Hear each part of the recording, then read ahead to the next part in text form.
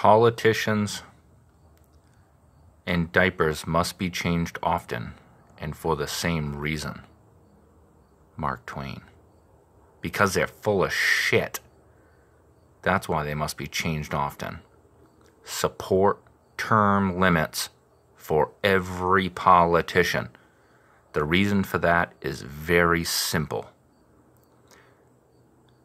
When America was founded, there was about 600 politicians, but only about 6 million people. Now, there is still 600 politicians, but about 390 million people. That is a huge, disproportionate number.